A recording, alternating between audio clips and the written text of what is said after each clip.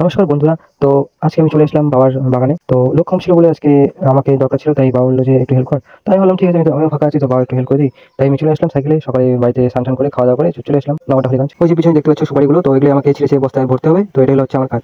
দেখো কতগুলো বড় বড় কত বড় সুপারি গাছ আর কতগুলো আহ কি সুন্দর লাগছে। গাছ থেকে পেরে সুপারিগুলো এখানে রাখা হয়েছে, আর একে একে তারপর বস্তায় ভরা হবে। আর এই দাদা হলো সুপারি পাড়াইয়া, যে গাছ থেকে সুপারিগুলো পারে। এই সুপারিগুলো অতিরিক্ত পেকেছে তাই এগুলোকে অন্য বস্তায় ভরা হয়েছে, এগুলো বাড়ি নিয়ে যাব। তো এখন আমাদের কাজ চলছে এগুলোকে বস্তায় ভরে প্যাকিং করে তারপর আমরা টোটোতে উঠিয়ে দেবো। আর এখন মালগুলোকে টোটোলা দাদা আহ, টোটো করে নিয়ে যাচ্ছে।